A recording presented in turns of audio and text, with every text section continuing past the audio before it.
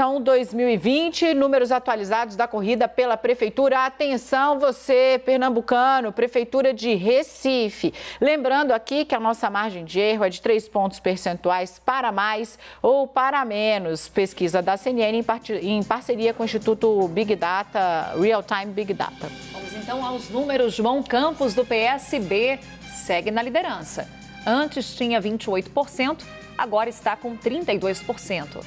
Marília Arraios, do PT, subiu de 14% para 18%.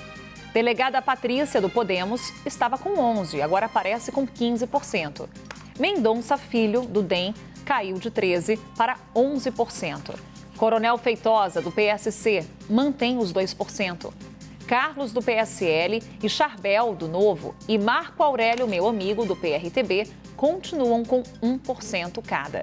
Tiago Santos, do UP, foi de 1 para 0%. Cláudia Ribeiro, do PSTU, e Victor Assis, PCO, não pontuaram nas duas pesquisas. Nulos e brancos representavam 11%, agora são 7%. A porcentagem de quem diz não saber em quem votar caiu de 17% para 12%. Foram entrevistadas 1.050 pessoas por telefone entre os dias 29 e 31 de outubro. O nível de confiança é de 95%.